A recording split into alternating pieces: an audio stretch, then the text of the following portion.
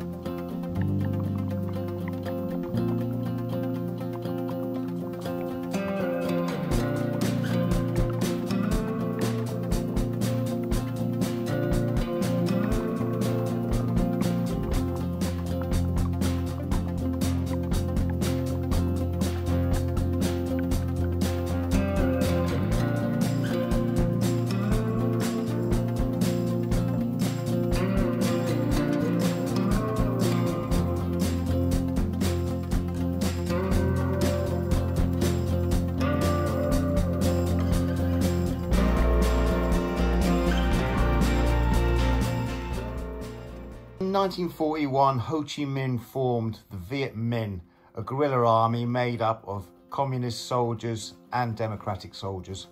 And in the late 1940s, they began to build the underground tunnels, later to be known as the Ho Chi Minh Trail, and today better known as the Cu Chi Tunnels.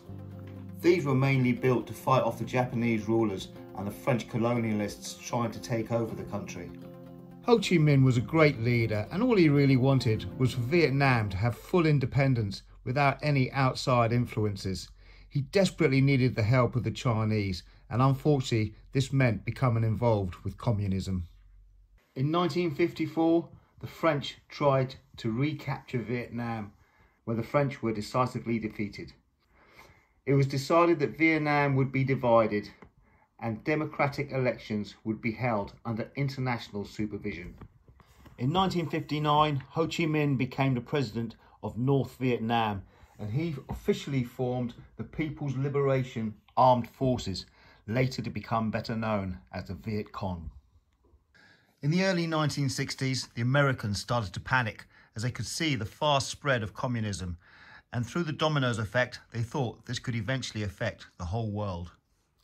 They began giving financial support and military advisors to train the Viet Minh soldiers in the south. On the 2nd of August 1964, North Vietnamese patrol torpedo boats attacked the USS Maddox in the Gulf of Tonkin. This was the excuse the Americans were looking for, and in 1965 they began dropping bombs on North Vietnam on a mission codenamed Rolling Thunder. This was the beginning of the Vietnam War. Cu Chi, Kuchi. So the name Cu Chi it starts from a kind of tree. That tree called Cu Chi. So we had Cu Chi tree right here. So before in this area there were a lot of Cu Chi tree here, and the local they named this area Cu Chi. Right. But today there are only two trees left. There are only two of them because this tree is poisonous. It's poisonous. It's killed a lot of people before. So the local they said that if they let this kind of tree grow, it's dangerous for them, so they decided to cut all the tree. So this kind of tree, you know, they have poison all over the tree. Like you eat the leaf and the seed of the fruit, you would die immediately.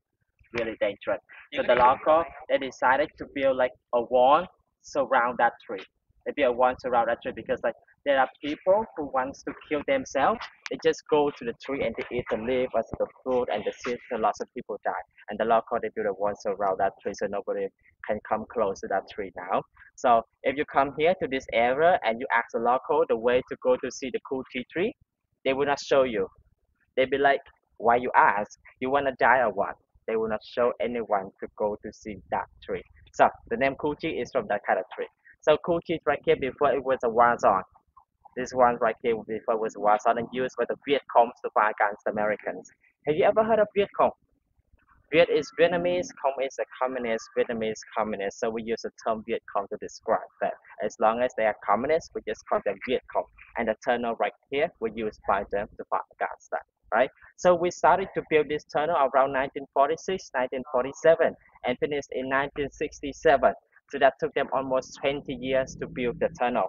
And then in 1967, we had like 220 kilometer long of the tunnel. It covered the area of 170 kilometers, right?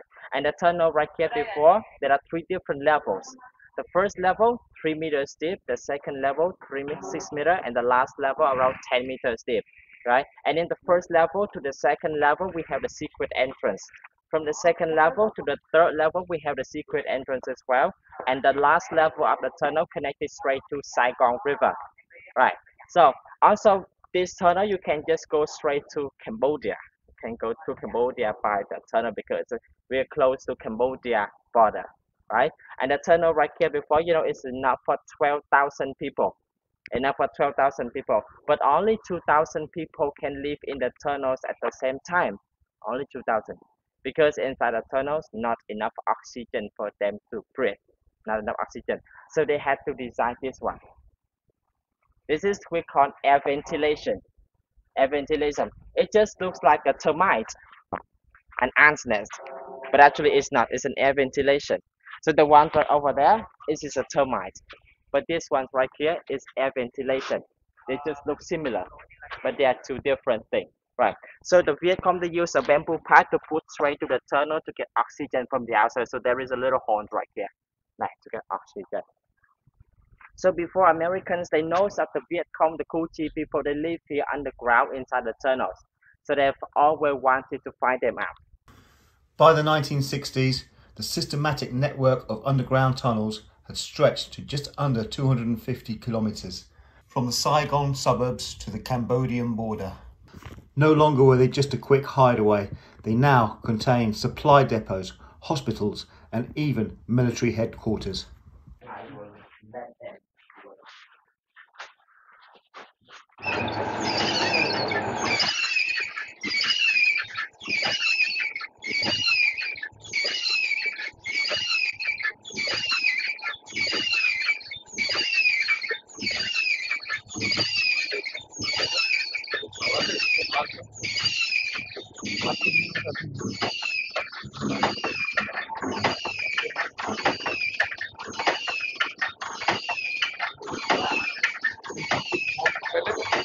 वो लोग जो बम उनको तो गिरा है ना। ये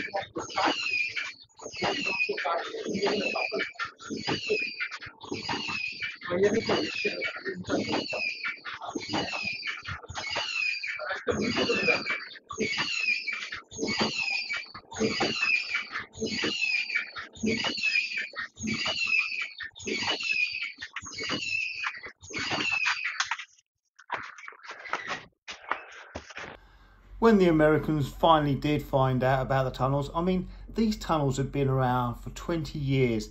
Uh, didn't anyone give them a little nudge and say, hey, by the way, guys, if you're trying to figure out why the Viet Cong managed to appear and disappear like ghosts, well, it's because they got these little tunnels underneath you, and uh, yeah, that's what they've been using.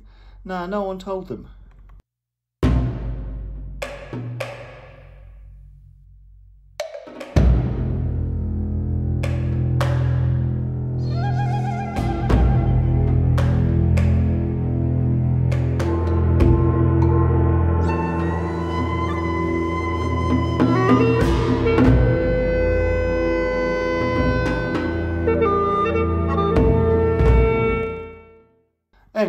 When they did figure it out in the end, they created a new platoon called the Tunnel Rats.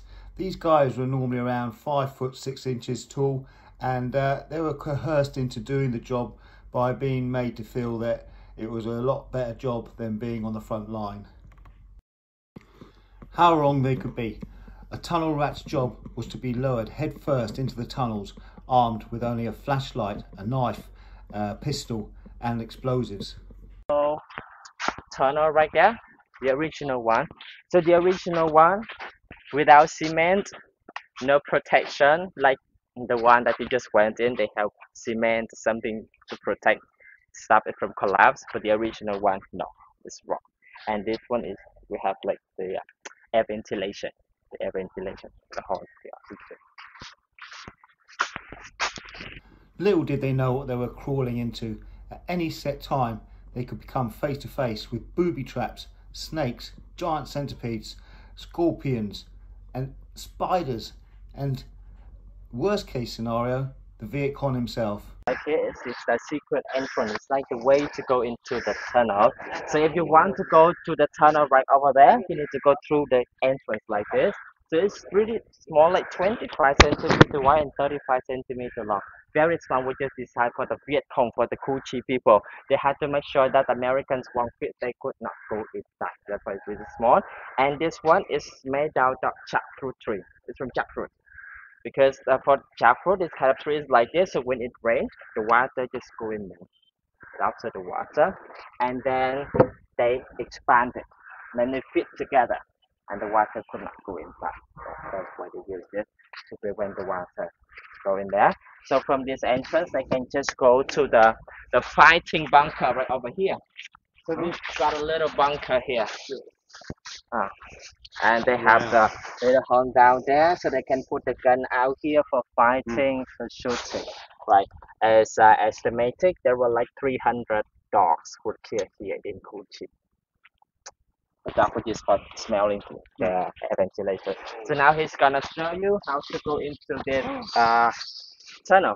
Okay, and you can do this later. Oh. You can try yourself.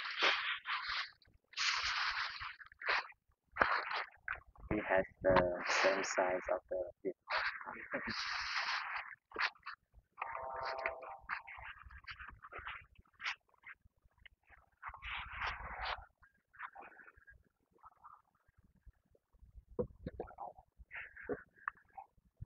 Fuck that shit. Yeah. Did you do that Reckon wrong? you do that, No. Christian? sticky to that, isn't it?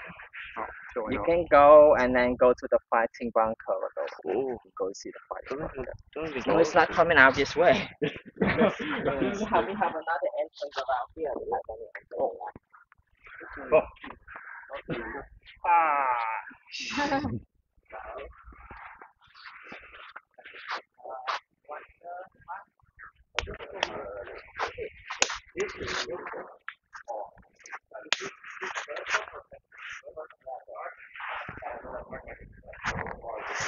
When you step on this side at the trap, another side would come and it will step into the body. And this one we call the feet trap. Gonna put this inside. Yes. So this trap will step into the feet like this, and they just could not take their feet out just because of the surroundings. Right. And this one right here we call the armpit uh, trap. Oh. Armpit trap. It's just up this trap right here, and then we step into the armpit when they fall down. And the next one we call the uh, window trap. The window trap. So, so this trap it was like step into this part of the body. So and the rolling trap, the rolling trap. So this trap like um they got stuck right here. They got stuck right here when they fall down like like this, and then it just got stuck at the ankle. Right. And this is called the sticky trap. So the trap is like like this. Right? Trap is like that. When somebody step on it, they will go out. Right. They have uh, a bigger entrance here. But Ah, this one is for tourists, like Yeah. big for everyone. does it go the same Okay. way? but it's a Oh, small it's size. Unlucky you. Oh, Oh my god. Live is Oh, thank you. Where I'm going now? This one is the sandal that the Viet Cong they wore during the war. So usually a normal sandal is gonna be like this, right? But in the wartime, the Viet Cong they wore this sandal like this. Oh, So this is the front, it became the back, the back it became the front. So it has the footprint. Yeah. Like to confuse the American, they just know the which way the Viet Cong they go, whether they go this way or they go this way. Like just to confuse them. Right? It's a normal, it's like it, but in the wartime they wear the sandal like this, and this is how they wear a sandal. Right. So let's just compare this to a normal one. This is a normal one, right? And this is the special one. Right. The difference is right here, the direction. Yeah. Yeah.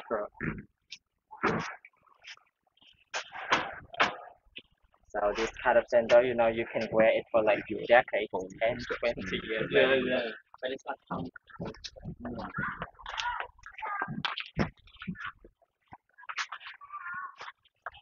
The Americans, they use dogs right here. Dogs to come and smell the people on the ground. You know, lots of people living inside, so strong smell. And when the dogs they came here, they smell, they started barking because the smell was really strong. They started barking. And then Americans, they found out this one, right? And after that, they just used the helicopter to bring water from Saigon River, come into this tunnel. They're trying to make this tunnel like flooded. But it was not working. It was not working because, you know, the last level of the tunnel, it connected straight to Saigon River. So when Americans, they pump water, the water just goes to Saigon River escape. So it was not working. And after using water, uh, not working, then they use poison gas. They use poison gas to spray into the tunnel. So at this time, people died because they couldn't breathe up because of the poison gas. And then the Viet Cong, the Cu Chi people, they just discussed together to find a solution to stop the dogs from barking. And then the Viet Cong, they use chili and pepper powder. They use chili and pepper powder to put inside the air ventilation to stop the dogs from barking. But it was not working because you know chili and pepper they were spicy. They were spicy, and when the dogs they came, they smelled, they started to sneeze, and then they barked. So one more time, Americans found out this one. And again, the Viet Cong again they got to gather together for another solution, and at last they found the best solution. They found the best solution to deal with the dogs. So they used soap, soap which is for washing, soap that Americans they used, American soldier clothes, and the perfume that Americans they used to put inside the air ventilation. Because this smell it has the same smell with American. And when the dogs they came, they smelled, they thought this is American, and they didn't bark. And then they would say for the Cong, for the Cu Chi people, right? Because before right here in Cu Chi, there were a lot of like U.S. Army base in this area. So when they use soap and also the perfume, and after that they threw that away, and the Viet Cong they collected that to reduce, also to put in this air ventilation to deal with the dogs, right? On April 30th, 1975, American troops, government officials, and civilians were forced to evacuate South Vietnam. Later that day, North Vietnamese tanks rolled through the gates of the presidential palace, taking siege of Saigon, later to be renamed Ho Chi Minh City. So, what were the Americans actually doing in South Vietnam? Had they seen an opportunity now that the French and the Japanese were no longer there? Did the USS Maddox really get attacked by North Vietnamese torpedo boats in the Gulf of Tonkin? And were the Americans really fighting a war against communism? If that was the case, then how could so many so called intelligent people get it so wrong and cost the lives of over 2 million people? Thank you very much for watching.